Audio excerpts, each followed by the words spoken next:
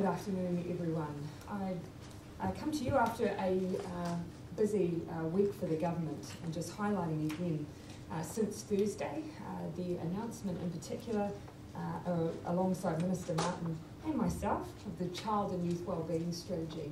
Uh, and alongside that, the introduction of food in schools, which will begin in the beginning of 2020. Then, of course, the announcement around our Cancer Action Plan, which was made in Auckland yesterday. Both of these issues signal uh, the ongoing focus of the government on long term issues that often uh, will require sustained action uh, and long term commitment from us, be it issues of child poverty or ongoing underinvestment in our health system. Uh, but both the Cancer Action Plan and our Child and Youth Wellbeing Strategy demonstrate that we are looking beyond three-year cycles out to even as far as 30 years in terms of addressing some of those significant issues. And again, whilst it will take time, in both cases I think we've made um, very, very good starts. But starting with the recess uh, week ahead, just a little recap of some of the um, uh, um, initiatives I'll be a part of. Tomorrow I'll be visiting uh, the East Coast as part of the Ngāti Porou uh, Crown um, Taumata uh, you might recall that's something we undertake on an annual basis, and my commitment last year was that we would travel further um, and beyond um, Gisborne uh, into the wider area. On Wednesday, I am in Auckland. I'll be speaking uh, at the Waiata album launch in the evening. On Thursday, I'll travel to Dunedin for some business visits and to speak at the ODT Class Act Awards and at a uh, government CTU forum. On Friday, I'm back in Auckland for an electric um, day. Uh, on the weekend, I'll be involved in a mental health announcement alongside uh, Minister Clark. Uh, elsewhere, the government also has a busy week and will deliver on several major pieces of work. Uh, Heather Simpson's interim review of the health system will be released on Tuesday. The KiwiBuild Reset on Wednesday from Minister Woods. Our water reforms on Thursday from Minister Parker and O'Connor a PGF Northland Rail announcement on Friday from Minister Jones. Uh, I know you will uh, ask soon, but I can confirm now that I'll be not releasing any further details on any of those initiatives uh, ahead of time. Uh, from um, Sunday and then throughout the following week, we will be making a series of mental health announcements, and it will be quite a concerted focus uh, in this week on mental health initiatives. Now, as you can see, I have Ashley Bloomfield, the Director General of Health, here with me today. Um, as you will know, we are currently experiencing unusually high rates of measles infections uh, in Auckland, predominantly uh, in South Auckland. And as you know by now, I've been saying it repeatedly, immunisation is the best way to fight this outbreak and prevent outbreaks elsewhere. This morning's update tells us there have been 963 confirmed cases since this outbreak began in March. This is an increase of four since Sunday's situation report. Of course, uh, there may well be uh, additional reports in from uh, the weekend, but that is the situation as it stands. At present, the only place we consider there to be an outbreak is Auckland and particularly, as I've said, South Auckland. Today, Cabinet was updated on the measles outbreak and heard that the Ministry has been training 25 additional nurses to administer vaccines in 34 Auckland schools. That the Associate Health Minister Julie Anne Genter has asked for the Ministry of Health uh, to look uh, at the possibility of pharmacists being able to administer measles vaccinations but keeping in mind, of course, access has been a key focus for the Ministry of Health to date. Uh, and of course, um, people are able to access free measles vaccinations through their local GP. So that, uh, and also there's been outreach uh, community clinics. Um, uh, community clinics are available in the Manukau Super Clinic and the Clendon Shopping Centre. And we've even, for instance, uh, made use of churches in South Auckland to try and make sure that we are present where those who we need to target vaccinations for are present as well. One thing I do want to note though is that this situation is not unique to New Zealand. Since 2012, all cases of measles here originated from travellers bringing the disease from overseas. Uh, there are currently significant measles outbreaks overseas. As at 23 August, there are current outbreaks reported in Hong Kong, Philippines, Europe, Canada, the USA, Australia, and Southeast Asia. Preliminary global data from the World Health Organization shows that reported cases of measles rose by almost 300% in 2019 compared to the same period in 2018. That information serves to underline the importance of us focusing on immunising uh, those who particularly are in those outbreak areas. And again, I remind people the vaccine is free for those under the age of 50 who have not had two documented doses. I also remind people to stay at home if you're feeling sick, have symptoms that include fever, cough, runny nose, and sore water, pink eyes, and calling the 0800 611 116 Healthline. That's 0800 611 116 Healthline, or your doctor if you think you or a family member may have measles. Ashley, is there anything you wish to add before we open for questions? Uh, thank you, Prime Minister. I do want to emphasise that the only area in the country where we do have an outbreak at the moment is the Auckland region. As you will know, and as the Prime Minister has said, that is focused in South Auckland, and that is where the focus of additional vaccination opportunities is currently. It's a, uh, vaccine is free for under 50s, the focus being, of course, on children as part of their routine childhood immunisation schedule. And the most important thing outside of Auckland is that children are vaccinated with this highly effective, very safe vaccine and that they receive that vaccination on time. All right, we'll open for questions. Have Auckland health officials moved, moved too slow to get the message out to the public given we have and students sent home doesn't necessarily need to happen? So uh, I don't think they have moved too slowly. I think there's been good information out there. There are daily press conferences, of course, now uh, by the Medical Officer of Health, Dr. William Rainger, up there. The decision about events uh, falls with event organisers, and they can discuss and get advice from the Medical Officer of Health, the public and the Public Health Unit, but it does fall with event organisers. They should and are uh, finding out whether there are students who are unimmunised and making a decision themselves about whether either to exclude students or to proceed with an event or not. My understanding is that very clear advice has been given locally from those medical professionals to event organisers, asking questions of participants, like for instance whether or not they're being immunised, and that means that those event organisers then have full information available to them in order to ascertain whether or not um, it would be wise under the circumstances to proceed. what are some of the other high risk areas where there's low immunisation and, and how are those areas being targeted? Is nothing done in those areas to, to target low immunisation rates? So we do have other areas of the country with low immunisation rates, MMR immunisation rates, um, in particular Northland, and you will be aware that Chief uh, Executive of the um, uh, DHB up there has already uh, been very clear about the need for uh, children to be immunised up there. I think there is a high level of awareness and a high level of um, responsiveness from the healthcare system.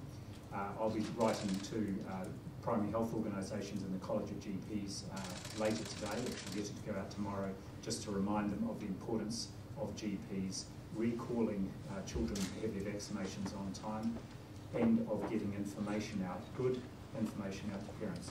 There is this issue uh, that is well canvassed around anti-vaxxers and this notion that the WHO calls vaccine hesitancy.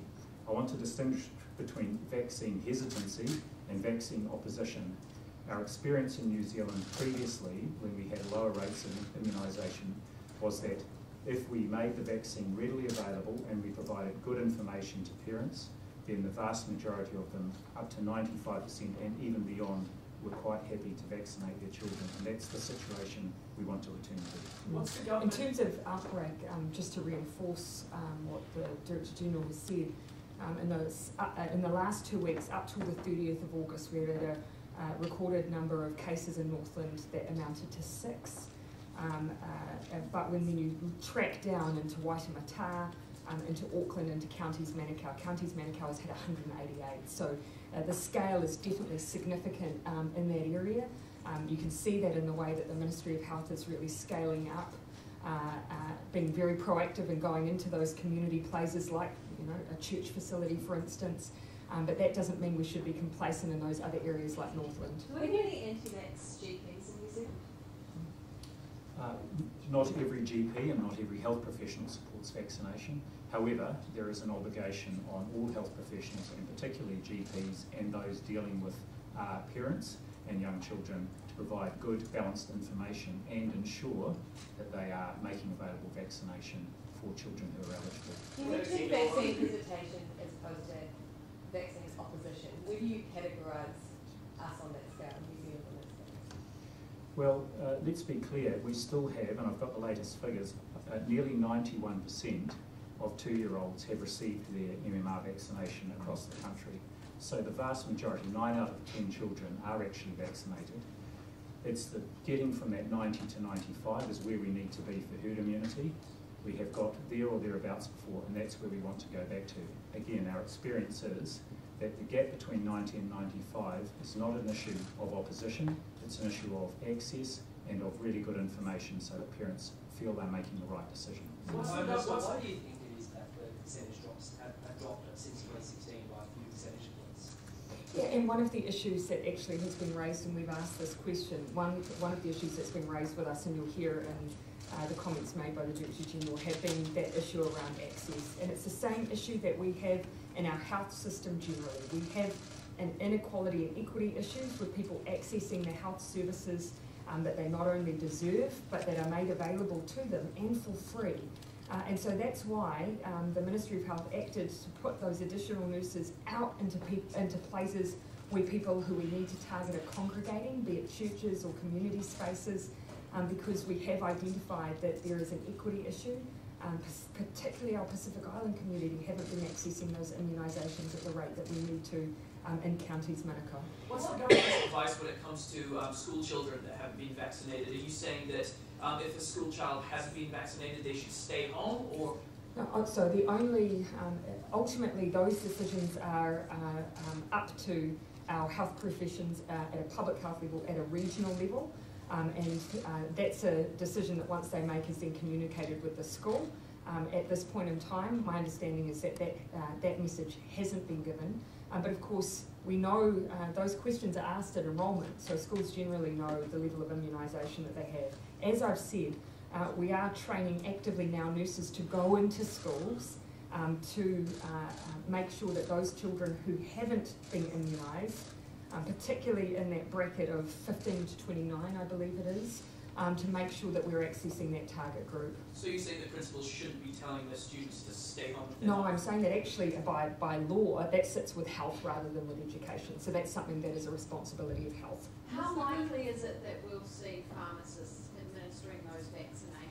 I think at, at the, at the moment, um, my understanding is that, um, uh, of course, they um, cannot um, access um, the National Immunisation Register, which, as you can imagine, is a really key piece of information to be able to successfully um, answer the public's questions over whether or not they need to be immunised. Um, that's one particular issue, but actually we need to ask the question, are people unable to currently access immunisation? I mean, it's free, it's available through their GP. We're also putting in community clinics and people into schools. Uh, and so we're actively addressing um, access issues. So the question is, um, i- is are pharmacists, pharmacists um, needed in addition to that? Um, that's something that the Ministry of Health is looking at, but again, there are a few hurdles to overcome. What makes this different? Did you want to add to that though? Yes, if I can, Yeah. there are two or three issues we would need to work through to enable pharmacists to vaccinate for uh, MMR. At the moment, the only publicly funded vaccine they can give is influenza vaccine in those eligible groups. They do provide um, uh, other vaccines where people pay privately if they're registered vaccinators. So there are two or three things, as the Prime Minister said, we would need to open up access to the National Immunisation Register for MMR, for pharmacists, and also develop a payment mechanism because at the moment there's no private market for MMR. These are things we're actively looking at. So on the opposition um, versus the uh,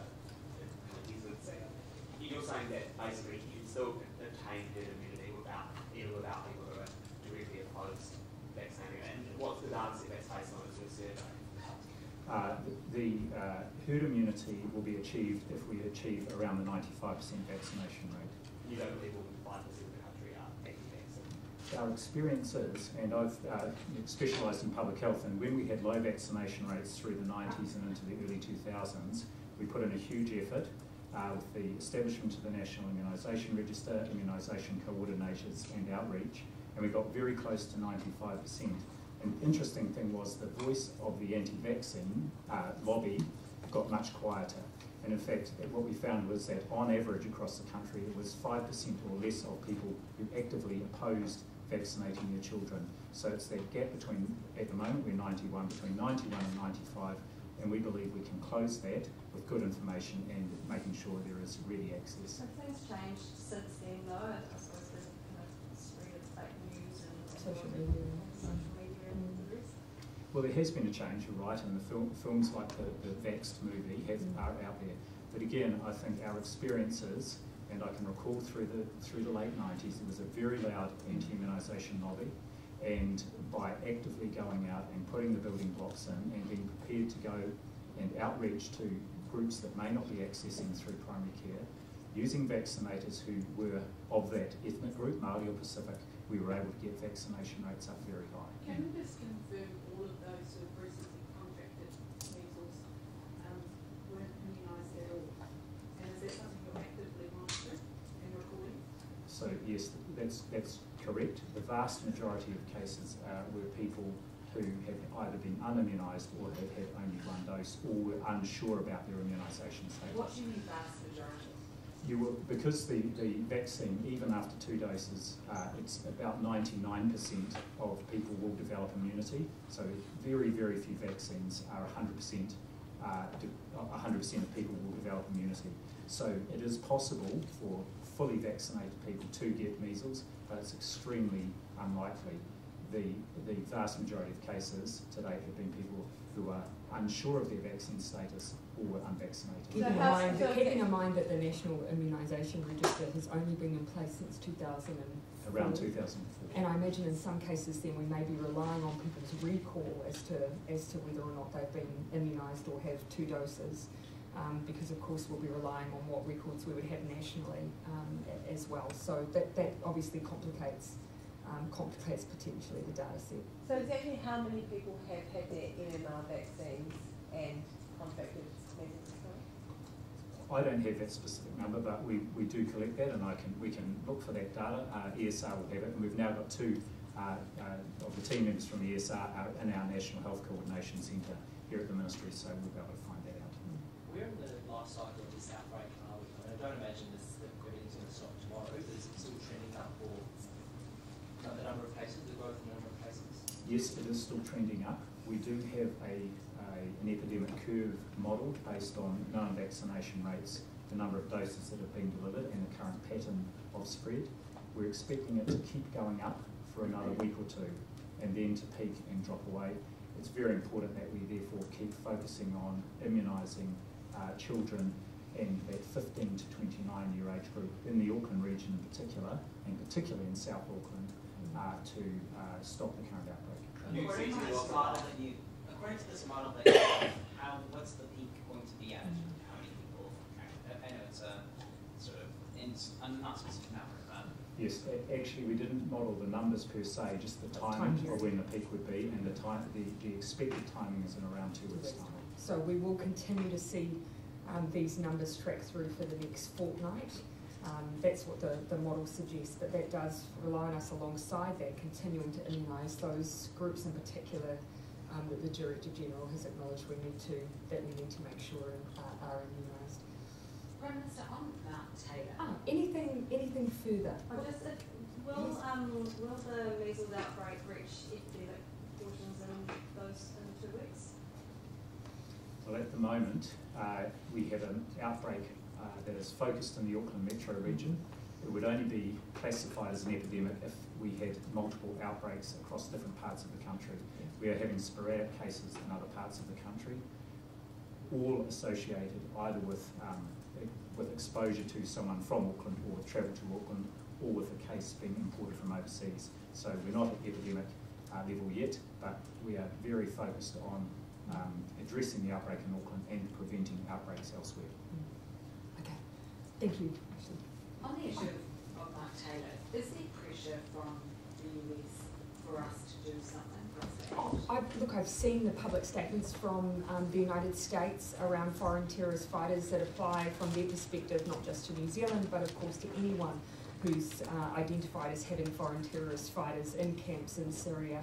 Uh, I've um, not personally had conversations beyond what I've seen publicly reported, but New Zealand's position has been very, very clear from the outset. The reason we gave such clear advice uh, around New Zealanders not travelling to Syria uh, was because of what we're seeing exactly happen now. That there is an individual uh, who is now in a camp uh, where we do not have uh, consular assistance available and where it would come at risk to provide that assistance. Do you feel comfortable leaving him in Syria?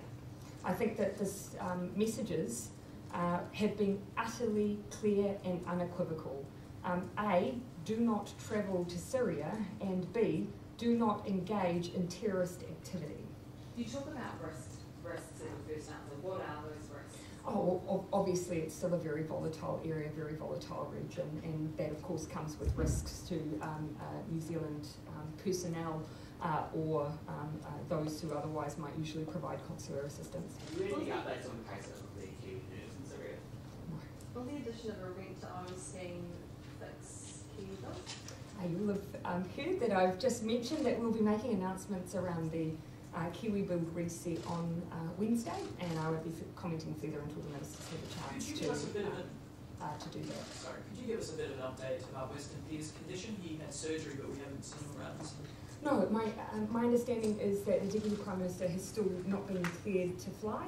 Um, when I last um, spoke with him around other bits and bobs that I usually catch up with him on, he was in good spirits. When is he going to be cleared to fly? And I, unfortunately, I, I don't know that information. What's How the will the government Probably only his doctor would be the one to ask that, that question of, so sorry, I, I can't tell you that. How is the government planning to respond to the Waitangi report on water and what will be the key points that the government will be wanting to make in that response? Yeah, I think, you know, obviously there are, there have been two issues in particular. Uh, we will already know the government's position.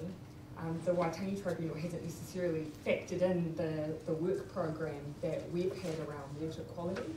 Um, but of course, we'll be making further announcements on that on Thursday.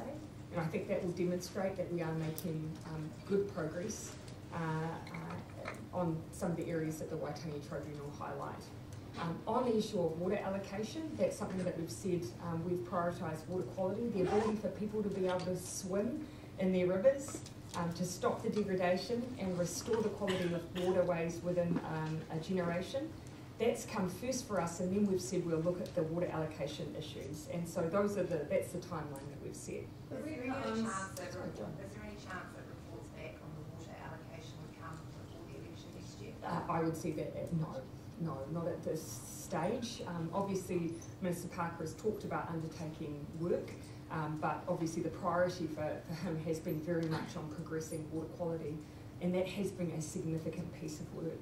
You'll also see, of course, that where the Waitangi Tribunal landed on allocation issues was not too dis- well, had some um, comparison to what Labor had talked about pre-election, but that was obviously something that did not progress past coalition negotiations. Two weeks ago, you said the uh, potential changes to prison letters could be at cabinet by. Did you? Yeah, it's, I'll leave the minister. I imagine it won't be um, too long at all before the minister will make announcements, but it has been discussed by cabinet um, uh, over since we uh, since I last raised it in um, post cab. But I'll leave it to the minister to make formal announcements. There. Last week you said that you had um, ex- you'd reached out to the Brazilian government around um, any help that New Zealand could provide around the fires in the Amazon. Have you heard back from the Brazilian government or their officials? Uh, I yes, well, in the sense that we that we did raise those concerns as other um, uh, other governments have. We're certainly not uh, alone in that. Um, we've not had any requests um, for help as a consequence of that, though, is my understanding. Has the Labour Party decided it will sign up for Facebook's and library report? Yeah, um, I've had a little look at some of what Facebook is proposing, and I think that um, that work should be applauded. Uh, we haven't uh, made any formal announcements off the back of that as yet, but it's something that, um, as I say, I think it's encouraging that Facebook have been looking in this direction. Obviously, a number of countries it's been something that they've set an expectation. They haven't done that yet here, but I think it's a positive move on their part, and we'll have more to say on it soon. The Green Party made its own decision on it about two hours, what's taking Labor so as I said, we'll be we'll be making a statement on it um, sooner rather than later. But as I've said, I think what they've done is a good move, the kind of thing that we need. Um, I just want to make sure that there's good coordination as we move forward. Why was it so important to change the Evidence Act, um, particularly the parts um, that, that uh, make it deal with complaints on witnesses, in sexual violence and family violence cases? You're making reference to the Law Commission report on the Evidence Act. Um, obviously, that's something that we've just received. There's some areas that we're obviously progressing through our domestic violence and sexual violence reforms, but otherwise, in terms of the detail and the specifics, um, we would agree that improvements need to be made, but I am uh, leaving it to the Minister to talk through some of the details on that. The bits around uh, requiring evidence of the complainant's sexual experience or questioning a, a witness um, in a way that might seem unacceptable, how prolific do you think that is Well, it- it's something that's come up before, and you'll recall um, that the work that we've done around sexual violence, the um, way that our court um, uh, process claims, um, deal with claims, has been raised um, uh, continuously through that process. So my understanding is that of the recommendations that have been made, a number of them we have been progressing as part of sexual violence legislation, um, and that's due to be introduced later this year. So it is something that we've actively been looking at alongside the Law Commission, having already done this work. And will there still, still be a, um, a government building component to the rent to own scheme that's included in the KiwiBuild reset on Wednesday? I'm going to leave it to Minister Woods to um, expand on the Kiwi Build reset at the time that she makes Can you announcements on confirm that Wednesday. Keyword reset went through Sorry, what was that? Can you just confirm that that goes through Cabinet today? Uh, again, I'll leave it, well, obviously the Minister is making announcements on Wednesday. Yeah. There are no cabinet meetings between now and then. And the name's definitely staying the same, isn't it? Again, I'm leaving it to the Minister to make announcements on Wednesday. I Had the hope to steal her thunder. Had the Green Party Last, last couple of questions, I'll just check, you'll forgive me, Henry, if there's anyone that I've missed. Last couple of questions, Missed? Had the Okay. Green Party made aware of the decision made at Cabinet today? Oh, of course, we engage um, uh, our confidence in supplying coalition partners throughout the um, crafting and drafting of cabinet papers and cabinet committee papers. That's our normal practice. So that engagement happens uh, well in advance um, of those papers being considered. So the Green Party now. I'm not going to join in speculation, and uh, nor will I confirm any of the content uh, of uh, the announcements that the minister will be making on Wednesday. Have All you right. Last question, thanks, Have you Jo. had any update on how the talks are going around the Martell? Um, obviously, I've been um, uh, keeping in, in touch, um, um, but I haven't had a, a recent um, update. Okay, thanks, everyone.